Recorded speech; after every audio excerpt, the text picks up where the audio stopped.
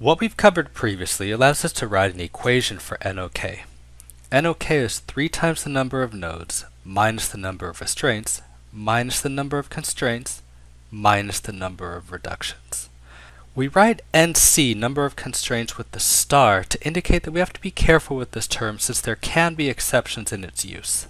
Let's look at some examples. In the first example, we argued physically that it has two degrees of freedom. Vertical translation of the right-hand node and rotation of the right-hand node. Let's see how the equation works. We have one node and one node, that's two nodes, three restraints from the fixed end, one axial constraint, and no reductions. A reduction would mean that we chose not to count the rotation at that node.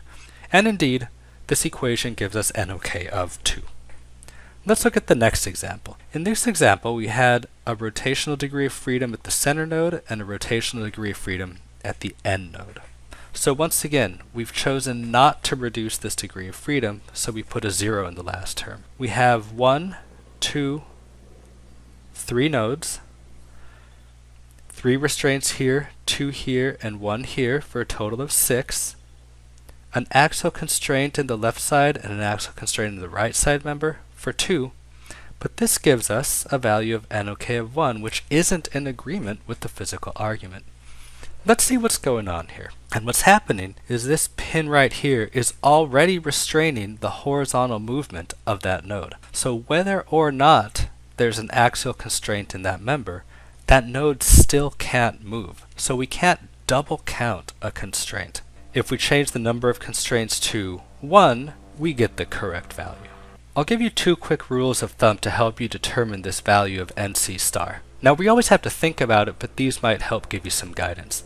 In the first case, if all the members are aligned and both ends are fixed against translation, then we have to subtract 1 from the number of members. Exactly as in the example above, one of the constraints due to the restraint is going to be redundant with the constraint due to the axial rigidity of the member, and we can count at most one of those. The other case is if we have members meeting at an angle. And in this case, NC star is at most 2 as long as there are more than two such members. Let's look at the example below to get an idea of why that is. We'll consider the vertical member and we'll consider the diagonal member that I'm indicating here. Now the vertical member can move horizontally. The diagonal member can move diagonally as shown there perpendicular to the member. Given those two constraints, this node is already prevented from moving. So whether or not I add another member here, I can't add another constraint. Those first two constraints were sufficient to fully fix the node. Let's move on to the next example. In this example, we had one degree of freedom, and we chose to reduce the degree of freedom at the far end. So right here, that's from the reduction at the far end. We have three nodes, 1, 1, and 1 gives us a 3 times 3 there. We have 3 supports, 2 supports, and 1 support. That's 6 restraints. 1 axial constraint.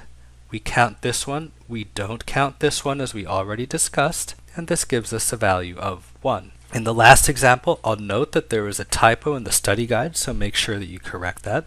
We previously argued physically that there is one degree of freedom, and that's the rotation of the left-hand node. These three degrees of freedom that I'm indicating right here at the center node are related to that rotation through the rigid body constraint. We've also chosen to reduce the degree of freedom at the right side here. Let's start our counting. The reduction of the degree of freedom at the right side is accounted for here. We have three nodes, 1, 1, and 1. We have two restraints here and one here, which gives us a 3 in the second term. For our constraints, we have a rigid body constraint on this member, which counts as 3 constraints, and an axial constraint on this member, which counts as one more.